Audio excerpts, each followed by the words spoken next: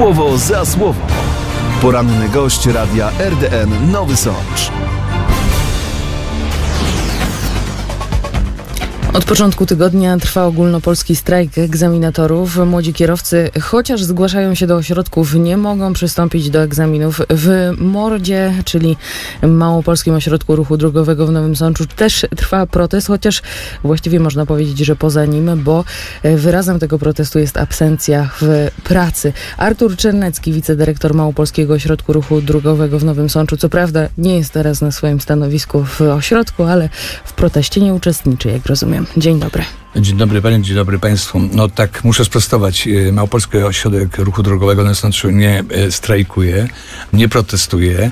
E, protestują egzaminatorzy zatrudnieni w Małopolskim Ośrodku Ruchu Drogowego na Sączu. Z tego, co możemy domniemywać. Ja jako ten, pełniąc w tej chwili funkcję zastępcy dyrektora, właściwie dyrektora, bo dyrektor Marek Pławiak jest obecny na urlopie, no nie spotkałem się z nikim, z egzaminatorów. Nie było żadnego przedstawiciela u mnie, nie było nikogo z protestujących tak zwanych y, egzaminatorów. W związku z powyższym my tylko do mnie mam. My, Mhm. że to jest przyłączenie się do ogólnokrajowej takiej akcji protestacyjnej Czyli egzaminatorów. zanim nikt nie pojawił się w pracy, nie było jakiegoś ostrzeżenia ze strony egzaminatorów, że nie przyjdą grupowo i że będzie problem z prowadzeniem egzaminów? Nie, właśnie takiego, takiej rozmowy nie było i nad czym ubolewam, bo gdybyśmy wiedzieli, gdybym ja wiedział, że coś takiego jest planowane, to podejrzewam, że poprosiłbym o rozmowę i byśmy pewne kwestie rozwiązali, tym bardziej, że yy, otrzymaliśmy otrzymaliśmy taką informację z ministerstwa od pana ministra infrastruktury, e, e, do, że trwają w tej chwili salutki czas rozmowy. Mm, ja mam to pismo przed sobie wczoraj cieplutko, jak to się mówi, na bieżąco, -hmm. gorąco otrzymałem i przyniosłem do studia pani, żeby poinformować e, zainteresowanych, że 19 i 26 lipca 2022 roku odbyły się spotkania w Ministerstwie Infrastruktury, gdzie trwają prace nad negocjacyjne nad wnioskami egzaminatorów i no, w jaki sposób to można rozwiązać. Musimy też zastanowić się nad tym, y, że to będą koszty związane, jeżeli pod wynagrodzenie pójdzie w górę egzaminatorów, no to będzie dodatkowe obciążenie dla naszych jednostek, jakim jesteśmy płatnikami dla nich. Y, oczywiście minister infrastruktury y, kategorie odpowiednie wynagrodzenia w swoich katalogach w rozporządzeniu z 2007 roku zawarł, ale my jako ośrodek wynagradzamy tych egzaminatorów. Jeżeli mm, mamy podnieść wynagrodzenie egzaminatorom, to co z pozostałą obsługą administracyjną. Również oni od 2013 roku nie mieli podnoszonych wynagrodzeń, e, a wiemy o tym, że też od stycznia 2013 e, roku ceny za egzamin, opłaty, przepraszam, opłaty za egzamin nie wzrosły, a wiemy, co było 11 lat temu, a co mamy w tej chwili, mm. więc ja powiem szczerze, przepraszam, 11, 10 lat temu, mam 22 mm. rok, 10 lat temu paliwo kosztowało 3,70, a obecnie 7,40. Więc mamy 100% podwyżkę, mamy różnica, cenę energii, mamy odpłat. E, no naprawdę e, to są dodatkowe obciążenia dla ośrodków, a niestety ceny no, za egzamin, jak powiedziałem, na kategorię e, e, egzamin praktyczny y, kosztuje 140 zł teoria, 30 zł, no to można sobie wyobrazić, mm. jak to się ma do realnych I cen. I wyjaśnijmy też w miejscu dla tych, którzy nie śledzą strajku egzaminatorów, oni domagają się w całej Polsce tego, aby po prostu zwiększyły się ich płace, nie tylko w kontekście inflacji, które zdecydowanie mocno tutaj no, napędza całą sytuację, ale też ze względu względu na to, że od wielu, wielu lat tych podwyżek nie było i domagają się także zmiany w rozporządzeniu ministra, który e, te stawki miałby podnieść, a to, yy, to że te stawki byłyby podniesione minima, minimalne, oznacza, że ośrodki takie jak MORT e, musiałyby wypłacać wyższe pensje. Rozumiem, że was na to nie stać, tak? Nie, oczywiście, tak jak wspomniałem, no w tej chwili yy, praktycznie chyba wszystkie ośrodki w Polsce yy, są pod kreską no niestety, y, z przykrością to muszę powiedzieć, robimy z panem dyrektorem wszystko, co w naszej mocy, żeby y, utrzymać się przynajmniej na, na, na, na kresce, jak to się mówi, ale jest to coraz trudniej, choć udało się w ostatnim czasie pewne działania podjąć takie, aby ograniczyć y, wydatki, koszty utrzymania ośrodka. No ale niestety obecnie protest, który w tej chwili ma miejsce, no ponad 100 tysięcy dobrze nam uszczupli nasz budżet obecny, jeżeli chodzi o ośrodek. No, Ratunkiem jest w takim razie zmiana cen za egzaminy dla was, Nie tak? wiem, to jest decyzja pana ministra. Jak na razie nie ma takiej decyzji. My y, to nie regulujemy sobie sami y, opłat za egzamin. No jest to wszystko związane z pieniędzmi. Jak wiemy o co chodzi, no to chodzi o pieniądze. No, gdybyśmy mieli takie pieniądze, to no proszę mi wierzyć, nikt by ich nie trzymał, tylko da przekazał pracownikom. Tym bardziej, że wiemy, jakie, jaka jest ciężka praca egzaminatorów. To wbrew pozoru w tej chwili egzaminatorzy w ostatnim czasie zatrudnili się i po miesiącu wypowiedzieli umowę pracy. Proszę sobie zwrócić na uwagę, że oni też żadnych kroci nie zarabiają, bo to wręcz nawet śmieszne, co powiem w tej chwili, ale egzaminator na kategorię B e, zarabia maksymalnie, może zarabiać do 3,5 tysiąca brutto. To proszę sobie wyobrazić, jaki stres oni y, y, muszą w pracy przejść przy egzaminowaniu, bo niestety nie mogą uprzedzić faktu popełnienia błędu, tylko muszą doprowadzić do sytuacji, że egzaminowany kandydat na kierowcę czy kierowca y, popełni ten błąd. Więc proszę zauważyć, jakie to jest naprawdę non-stop stresowe zajęcie. A również administracja, która ciężko pracuje, ja dlatego bym serdecznie apelował do wszystkich kandydatów na kierowców i kierowców, tym bardziej, że Szanowni Państwo, ubiegacie się o prawo jazdy i będziecie poruszać się w ruchu drogowym, no kultura kierowców też was zobowiązuje do tego, aby umieć się zachować przy okienku. Te panie, które obsługują was, niczym nie są winne, a narażone są na, naprawdę na obelgi, na przekleństwa, nie będę cytował. E, e, u tych pań pojawiły się łzy w oczach.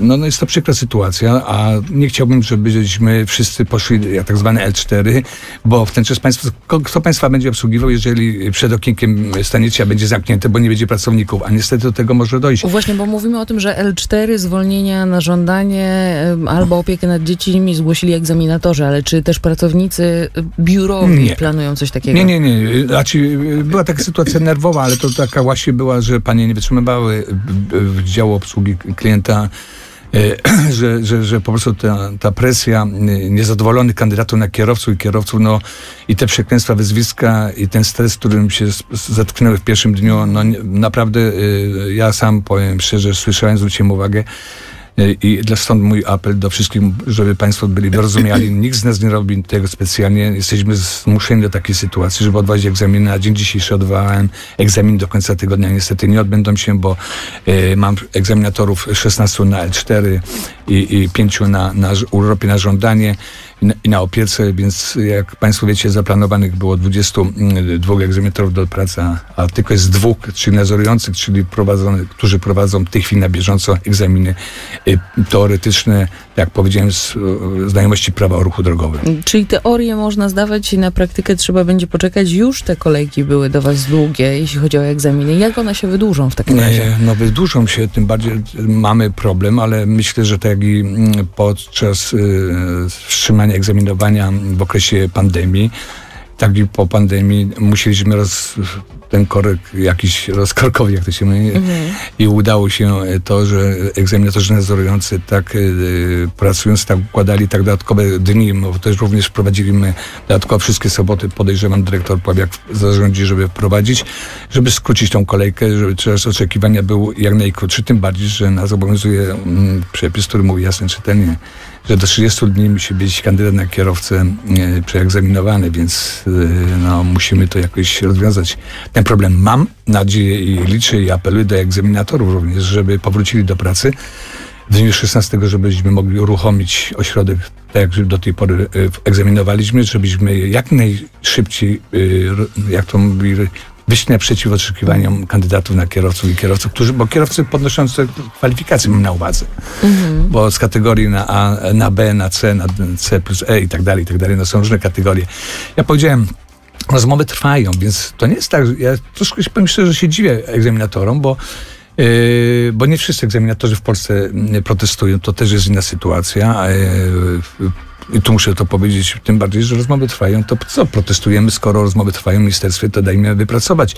Jeżeli ja czytam tutaj w, w piśmie e, od e, ministra infrastruktury, że e, do 31 sierpnia pewne tematy zostały jakby to skierowane do opracowania i przekazania i wspólnego usiągnięcia do stołu i wynegocjowania stosownych rozwiązań, no to tylko bym sobie życzył, żeby dotrzymać tego terminu i żebyśmy usiedli do stołu i, i, i naprawdę rozwiązali ten pro, problem, a dla ośrodków kryzys, jaki w tej chwili jest, bo kryzysem jest niestety sytuacja taka, że nie możemy egzaminować na bieżąco, a chcielibyśmy naprawdę, bo cała administracja jest w gotowości, pracuje, przygotowuje, są zapisy w tej chwili na terminy y, przyszłościowe kandydatów na kierowców, czy tam kierowców, jak wspomniałem już wcześniej.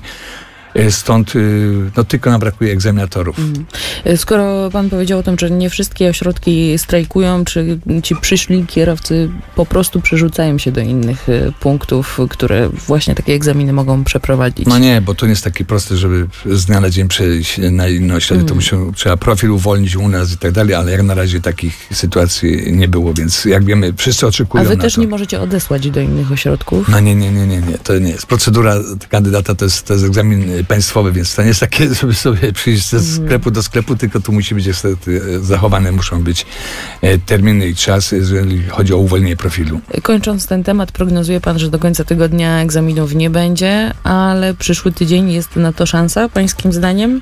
E, ja liczę, liczę na to, bo już w tej chwili słyszę, że nawet w Krakowie egzaminatorzy już powrócili dzisiaj do pracy, więc myślę, że nasi egzaminatorzy no, zdają sobie z tego sprawę, jakie konsekwencje ośrodek Y, nasz w Nowym Sączu ponosi przez ich absencję, że, że ich nie ma, że to są nie tylko straty, ale też y, straty finansowe, wpływy, jak i wydatki, bo przecież wiemy o tym, że takie L4 na, na początku płaci pracodawca, więc to są dodatkowe obciążenia dla firmy.